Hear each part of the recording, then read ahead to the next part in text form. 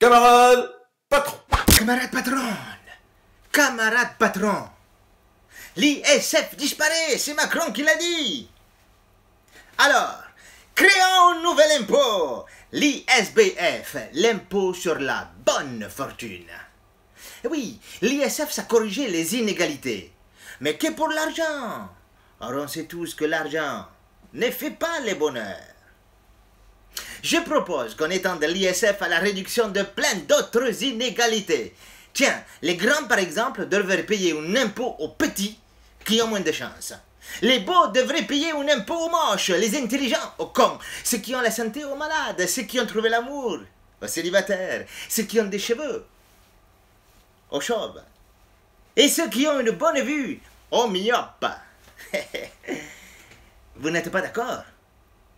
Ne me dites pas que vous préférez être riche, mais chauve, moche, comme petit, malade, myope et célibataire, plutôt que pauvre, mais avec un regard de lynx, en bonne santé, grand, beau, intelligent et surtout bien aimé. Hein. Alors moi, vous voyez, je suis petit, j'ai une santé fragile, j'ai une vue qui baisse, un début de calvitie. Et en tant que patron, on m'a souvent dit que j'étais euh, un chalcon.